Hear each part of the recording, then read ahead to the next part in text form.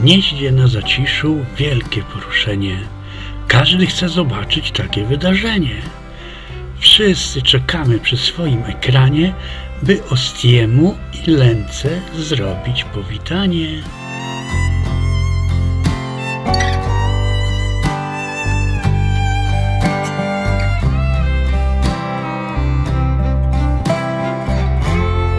Dnia pewnego w Ostrołęce ja nie mogę, ja cię kręcę.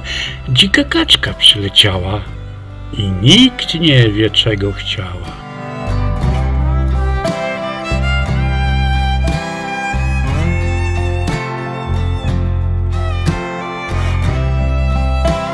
W piątek bardzo rano przecieramy oczy. Kto tu do gniazda tak wysoko wskoczył? To kaczuszka piękna w gniazdku spaceruje i od razu sobie w nim słomę rychtuje.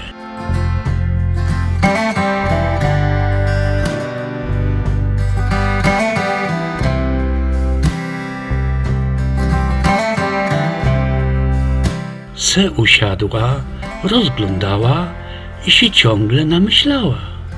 Czy to gniazdo mogę mieć? Bo mam na to wielką chęć.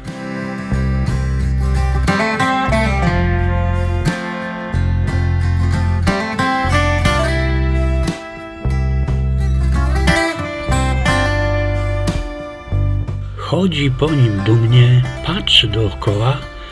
Widać, że jest dla niej ta chwila wesoła.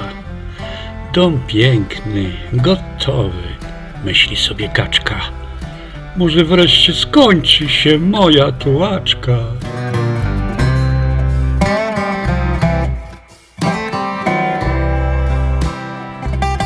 No i mamy małe zamieszanie. Kaczka w gnieździe ma swoje mieszkanie. Wciąż ogląda się dookoła, chyba nawet już partnera woła.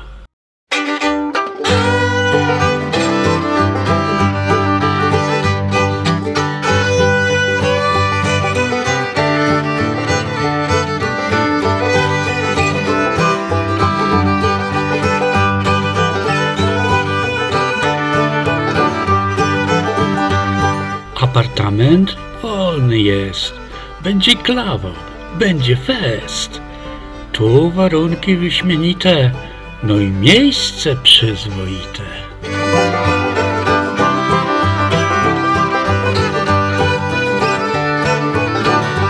Tak marzyła sobie kaczka, bo ta kaczka to dziwaczka.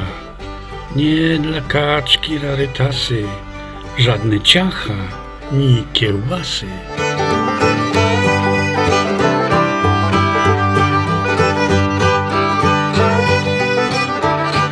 Zobaczyła w dole Krysi minę obrażoną.